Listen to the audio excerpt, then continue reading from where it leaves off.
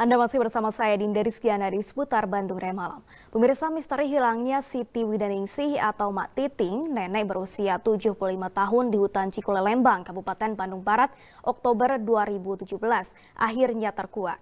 Jasadnya yang telah menjadi kerangka ditemukan warga selasa kemarin.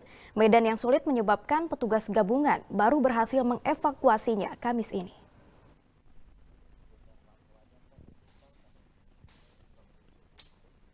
Inilah video yang diambil petugas gabungan saat penemuan jasad Siti Bidaningsih atau Mak Titing, nenek berusia 75 tahun yang hilang di hutan Cikole Lembang, Kabupaten Bandung Barat pada Oktober 2017. Jasad Mak Titing yang telah menjadi rangka ini pertama kali ditemukan seorang warga selasa kemarin.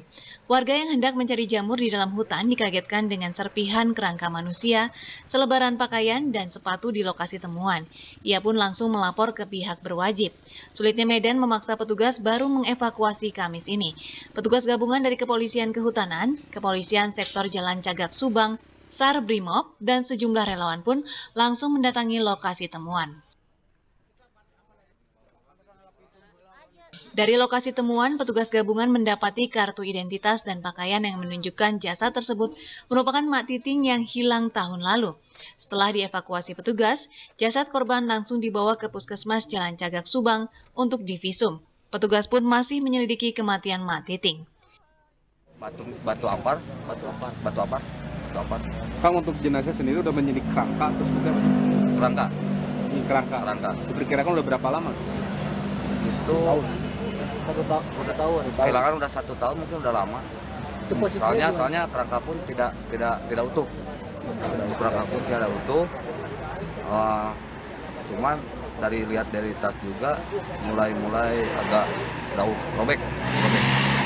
Sepatu pun bawah pun udah copot. Siti Widaningsih atau Mak Titing, nenek berusia 75 tahun, hilang saat mengikuti gerak jalan santai di kawasan hutan Cikole Lembang, Kabupaten Bandung Barat, Oktober 2017. Hilangnya Mak Titing sempat menggemparkan warga, bahkan tim SAR gabungan sempat dikerahkan untuk menemukan Mak Titing. Kini, akhirnya misteri hilangnya Mak Titing di tengah hutan belantara Cikole pun terungkap. Algi Muhammad Gifari, Bandung TV.